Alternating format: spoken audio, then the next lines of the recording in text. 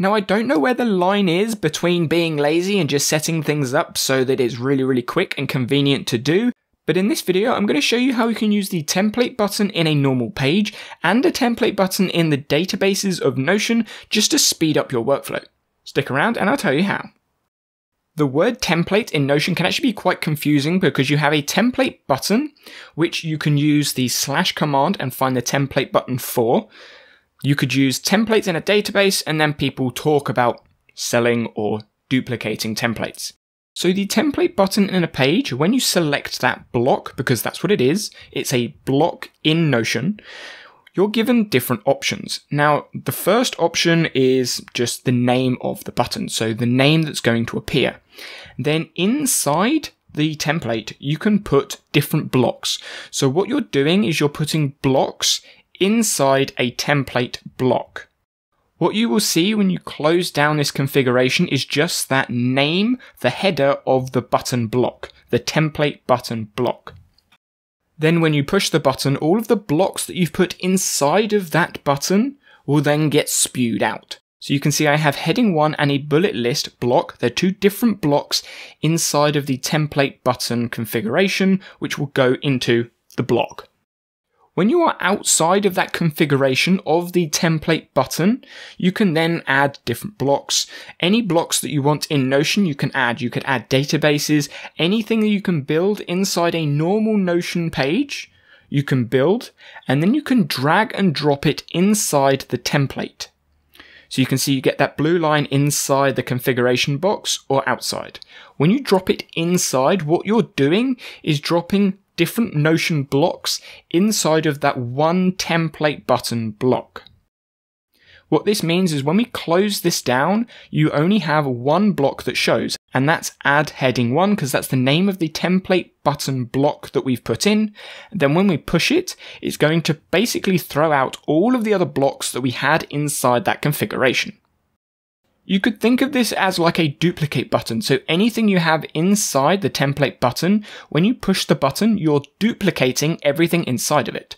So each page you generate from pushing the button is a duplicate of the page you have inside the template button. So if I push that template button three different times, you will get three duplicates of that page. Now, because of the design in Notion, to actually get columns inside the template button, you have to use something to kind of trick Notion into making the columns in there. So what I've done is I've created a page, and inside the page I've created columns using two text blocks. Now I'm going to drag that page into my template button, and then I'm going to turn the page into text. What that does is then throw out those two text columns, and now I have two columns inside my template button. So when I close this down and push the button, I've got column one and column two. And you can do the same process with three columns, four columns. You could put databases next to one another. It's entirely up to you. And the formatting inside the template button will stay the same when you push it and it duplicates all of that information. The template option in the database works pretty much the same way, but inside the database, it's instead of it every time you push a button, you can create numerous templates for whatever entry. So you can see you get that option to edit a template, or when you go into the database, you get the option to create a template.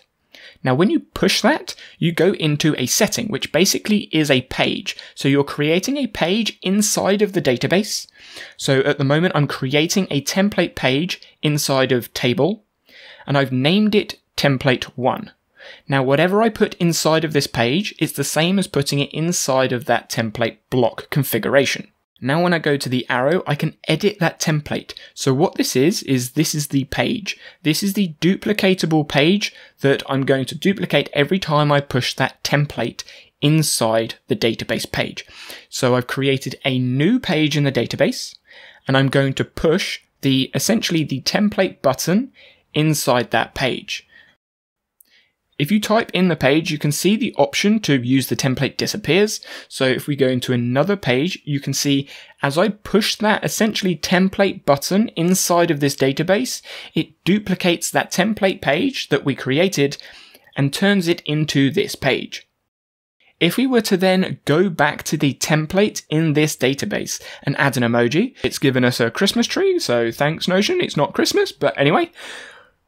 Now when I go back into that first page that I typed words into, I can get rid of that block, click on the template, and now the updated version of the template is now put into this page. So new page now has the new template one duplicate in there. So all of the headings, all the icons, everything is now put into this page. I can do the same thing for the other page. So previously we used the template one button in this page, but we've now updated the template. Notion doesn't automatically update the database template when you do it. So you have to go into the page and update it manually, which can be a bit of a drawback, but I would mainly use templates when you're generating something from scratch, generate something new, or something repeated, like a repeated project, a repeated task, a repeated goal, or anything like that.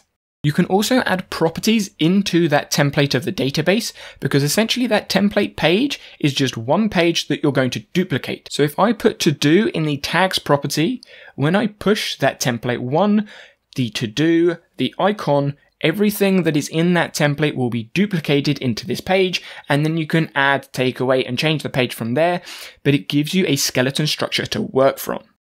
If you're interested to learn more about how I use Notion, make sure you check out this video over here, and I'll see you there.